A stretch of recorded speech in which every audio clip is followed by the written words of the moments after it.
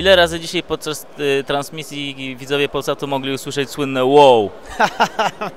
Nie wiem, ja tego nie liczę, ja tego nie planuję, także to jest, to jest takie absolutnie, bo to tak samo wychodzi, tak jak tak naprawdę od początku, to nie jest nic zaplanowanego. E, chyba ze dwa czy trzy razy gdzieś e, przy widowiskowych akcjach gdzieś tam myślę, że mi się wymsknęło. Czyli miernik dobrej gali. No chyba tak, mimo że większość walki to, to de- decyzje, no to trzeba przyznać, że może z wyjątkiem e, walki takiej przewidywalnej Różewski-Lipski, e, to te decyzje e, po dobrych pojedynkach i tylko się cieszyć, że mamy takie gale i mamy takich zawodników, bo, bo dzisiaj kilku, szczególnie tych amatorów, pokazało, że kurczę, te polskie MMA idzie w naprawdę dobrym kierunku. Można powiedzieć, że idzie nowe, patrząc po takich zawodnikach jak Wawrzyniak. No zdecydowanie, no, idzie nowe. No, ten sport się tak e, e, szybko zmienia, tak szybko się rozwija, że ja myślę, że takich zawodników Wawrzyniak będzie coraz więcej.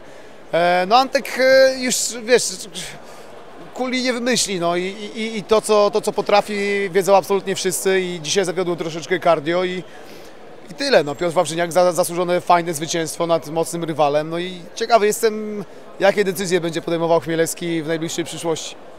Co doradzasz mu emeryturę? Nie wiem, wydaje mi się, że oczywiście on jeszcze kilka walk może stoczyć i, i jeszcze nie jeden pojedynek wygrać, tylko że, no tak jak mówię, no, Antek już niczego nie wymyśli no i, i, i coraz częściej jest tak, że zawodnicy tej pierwszej generacji polskiego MMA e, przegrywają i żeby nie było tak, że teraz będzie przegrana za przegraną i, i gdzieś e, ta legenda zwycięzcy, dwukrotnego zwycięzcy turniejowego KSW e, gdzieś po prostu się skończy, odcinając troszeczkę kuponów od sławy. Ja, ja nie jestem zwolennikiem takich rozwiązań, no. nie za wszelką cenę. Muszę jeszcze spytać o walkę pań. Jakbyś mógł porównać poziom naszych dwóch debiutantek, na przykład do walki Kamili Porczyk z Ukrainką na KSW. Nie no, ustalmy, że, że pani Kamila Porczyk ma absolutnie inną rolę do spełnienia niż e, dzisiaj dziewczyny, które rywalizowały w stricte takim sportowym starciu.